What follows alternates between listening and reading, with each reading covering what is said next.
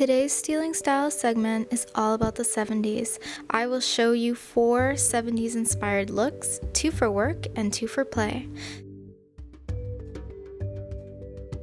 The first outfit consists of an A-line skirt appropriate for work,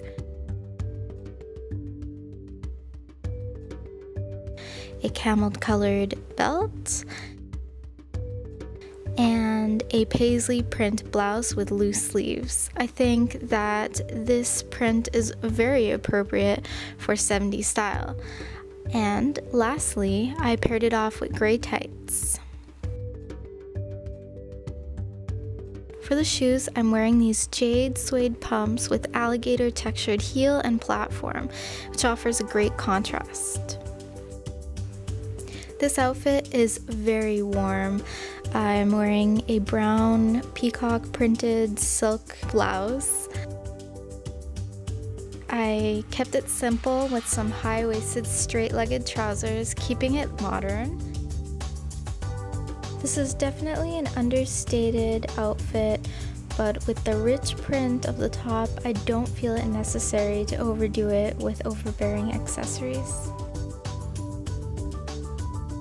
and I paired off the look with some black platformed booties.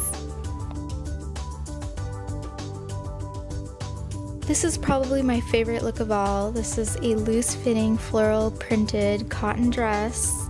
I absolutely love it. It's so comfortable. Definitely fitting with the 70s bohemian look. I belted it to define my waist because it's a very loose fitting dress. Added some playful over the knee burgundy socks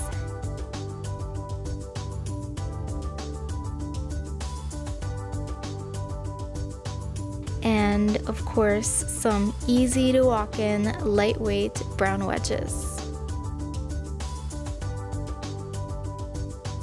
I call these my Jackie jeans, inspired by Jackie from that 70s show, basically. That's what they remind me of. High-waisted pants can tuck in love handles and accentuate a waistline.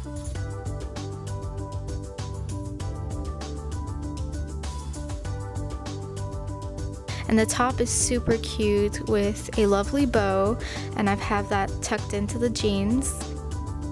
I've paired it all off with these floral platformed Mary Jane sky high shoes that are absolutely amazing.